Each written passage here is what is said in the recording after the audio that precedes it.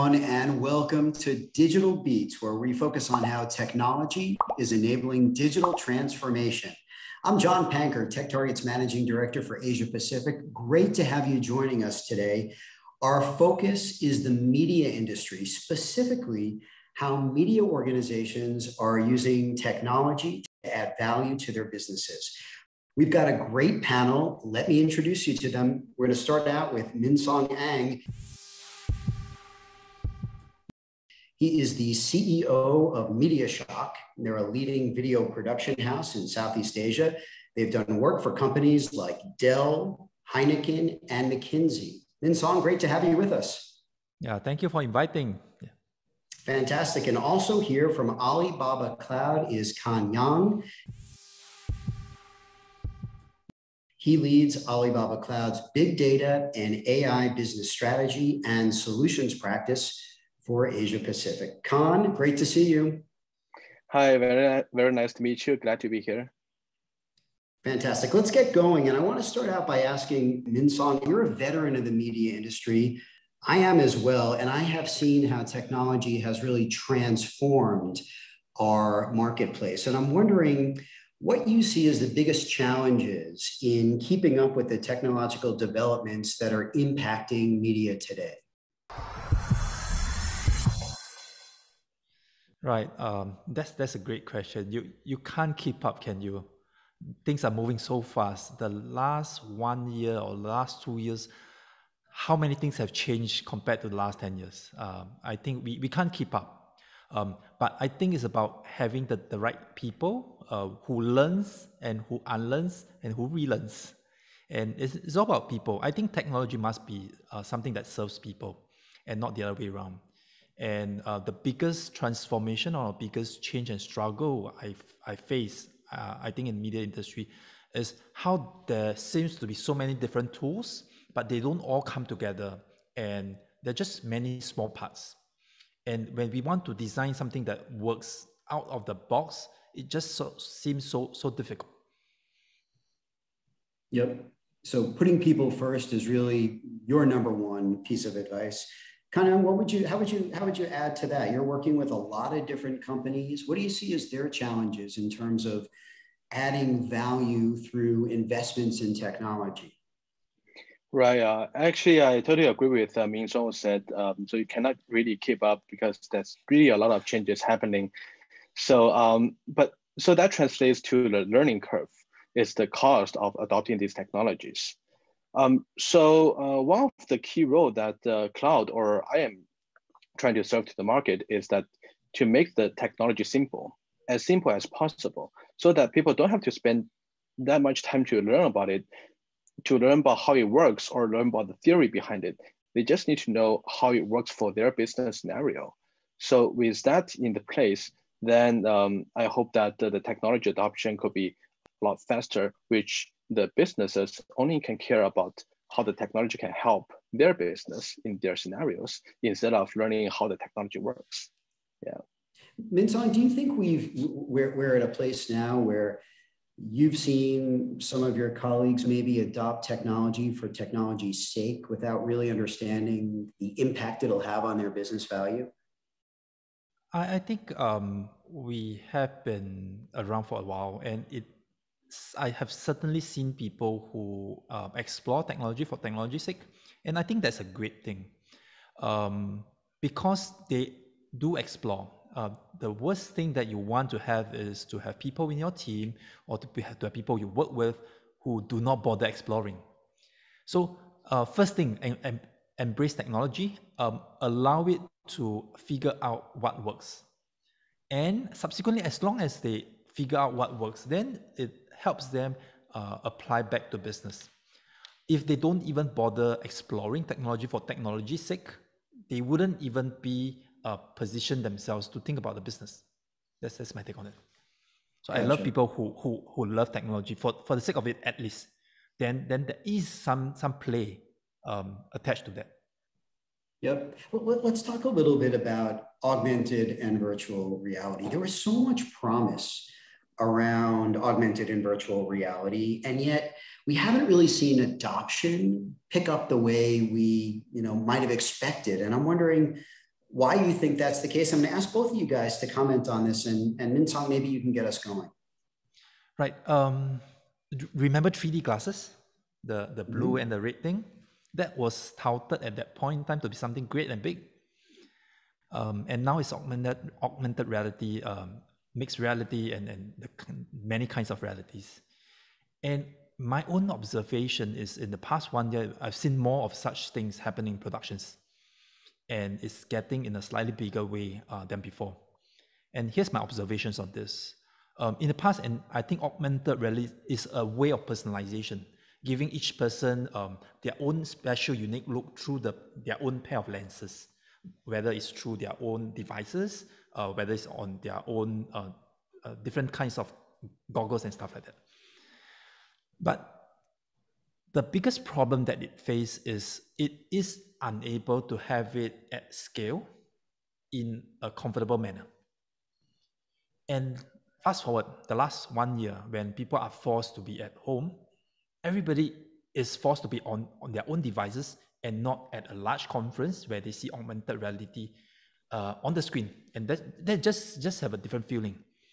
So I thought augmented reality may take off in perhaps a different, un, unexpected way from how it was meant to be, just because people have their own space now to experience the personalization, to experience whatever the developers and the program owners wants to push out to them. I'm actually bearing, uh, quite bearish for what augmented reality.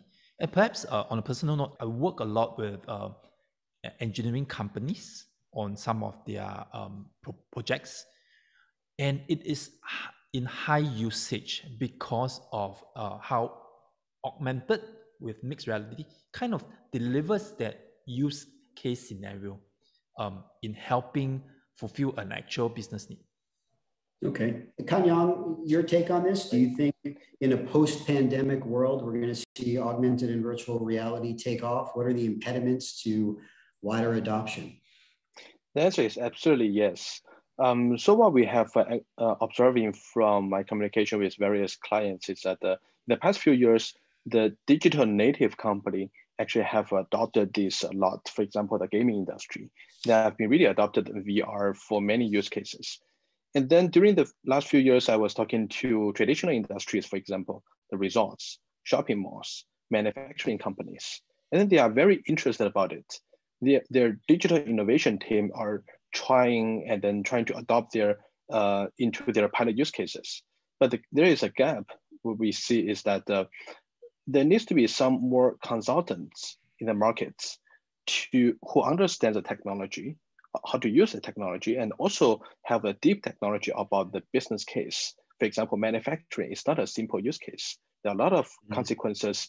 There are a lot of SOPs, ISO standards. So we need to have someone in the in place to bring the gap so that the technology can be widely adopted. But no doubts, the value is there. It's a matter about how we adopt this into some industry which has been operated for years. Yeah. And Kanyang, I'm going to give you a chance maybe to pitch you and your team's services as an area where you guys have deep expertise and have helped organizations who are looking to adopt VR. Yeah, that's right. So uh, actually, uh, our team initially was called uh, DTC, so Digital Transformation Consultants. Uh, that is how we position our team because uh, we are handling about AI, VR, AR, big data, and things like that. They come across the same problem that technology is technology, business is business, consultants is the glue to draw them together. So um, we have a team in the, in Singapore, in China, in Hong Kong, and then we have been working with the various industries, for example, the, the buildings, building management. How do we le leverage this technology to help that? Resorts, shopping malls. Those are really uh, impacted by the pandemic. And then they see digital is the must in the future. And then these are the technology they're looking at. And then we are in the role to tell them how this technology could help you and then increase your customer value. Yeah. Gotcha. So we know who to call if we've got a VR project uh, in the works, right? Yeah, yeah, absolutely. All right, fantastic. I want, I want to switch gears a little bit and talk about video editing. And man, the, the price of these video editing suites has come down dramatically in the last few years. I'm wondering, as a media outfit, as a professional video production company, Minsong, how do you stand out from the pack when there's really been this commoditization, if you will, of the video editing market? Yeah, tell me about it.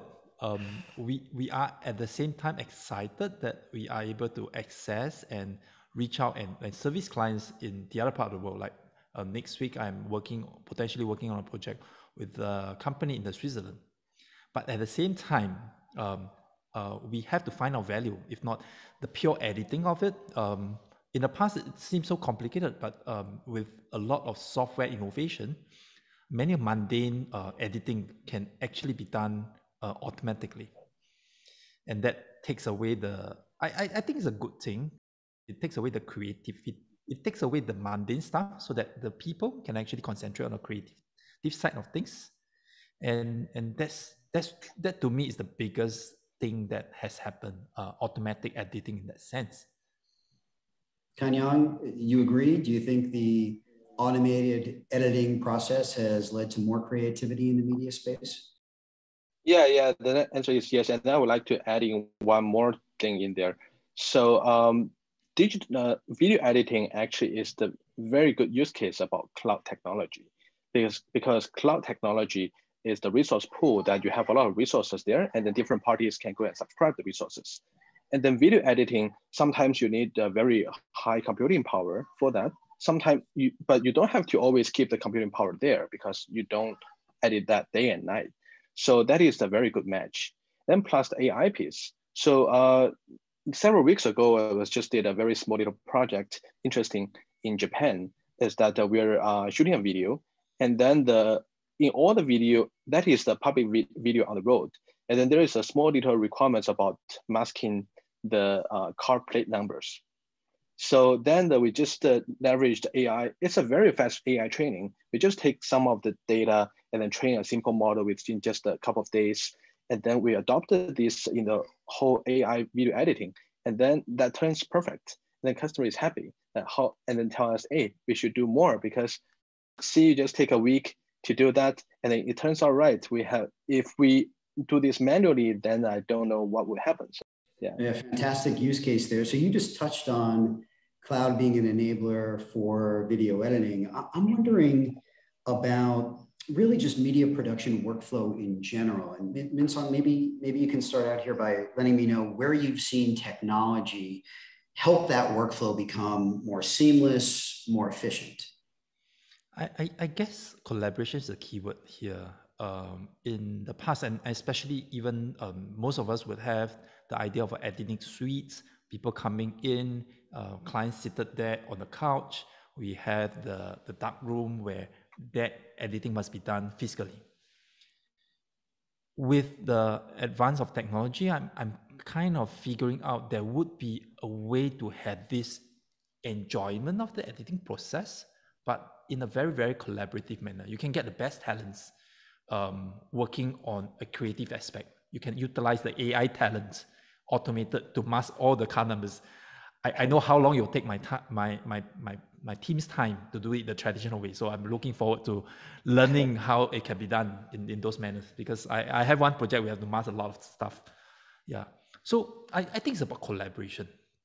Different talents coming from different parts of the world and delivering something great together. Um, mm. And because um, technology enables people to make videos far more easily, you're going to get lots more videos. So for us to stand out, I think it's a combination of good talent, um, good people who understand stories, good people who are creative to put out videos that people find interesting and engaging. I mm.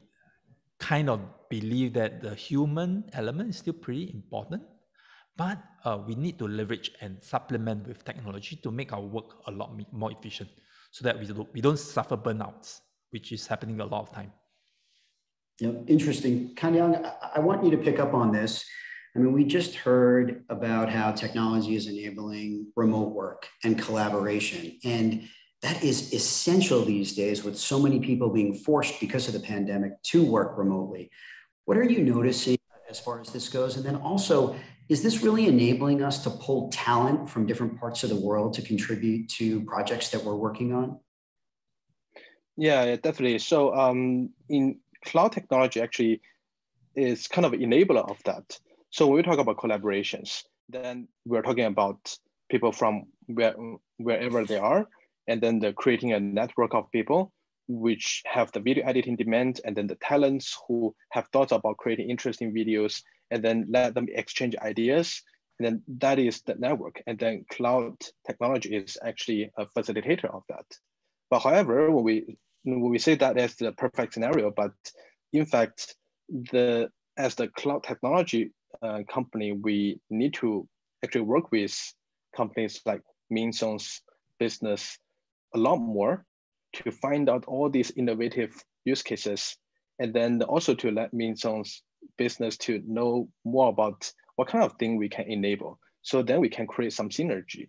And then the, furthermore, we can even create a products, technology products to make it, um, to, to make the network happen. Yeah. So I want to wrap up by giving you each a chance to comment on what excites you the most about the future of media, specifically the future of media and technology's ability to enable that future. Min Song, where do you see the market heading? I think media creation in the past was a thing for the privileged, people who have access to broadcast equipments and and the most expensive cameras and everything else not. What excites me the most is the ability to give this um, creation privilege to the masses um, to be able to co-create large pieces of work, um, no matter which part of the world you are on, and collaborate um, effectively. And no matter how, what, how old you are, no matter um, of language and uh, background, you can collaborate very, very easily and on very, very meaningful humanitarian work. Yeah, that, that to me is the greatest thing because the story of media is to further mankind and to tell great stories of the human humankind. Minson, that's great. What I'm really hearing is you talk about the democratization of content creation, which truly is exciting. Kanyang, what about you? As you look to the future of the industry, what do you get most excited about? What are you looking forward to seeing become a reality? Right. Thanks for the question. Um, so I will come from the technology point of view. So uh, we still see ourselves as a technology uh, enabler and then the um, we want everybody to adopt the technology without knowing how exactly that is and how exactly that work just being able to use it so i will give an example about how today the the, the mobile applications the internet works that with the cloud technology we build so many platforms that everybody can go there to create a mobile app and then work with others and share the interesting features about the mobile app and then uh, I, I spent uh, I think last year I tried it. Uh, I spent 30 minutes to create an Alipay mini program and then just publish into Alipay. And then people can enjoy the features and things like that for buying things, for making payments and things like that. So um, that that's really uh, how I see the technology enabler is happening in the internet space. But I think that the same thing will happen in the video editing or the media industry, that uh, everybody, no matter their age, no matter their background, they can all adopt this technology and then build what they, whatever they want, no matter it is in video editing or even they can train their AI model and things like that. Yeah. The future definitely seems bright for the media space. And I can't thank you both enough for sharing your thoughts. Min Song from MediaShock, Kan Yang from Alibaba Cloud. Gentlemen, thank you both. Thank you so much. Thank you so much. And a big thank you to all of our viewers. We will see you next time on Digital Beats.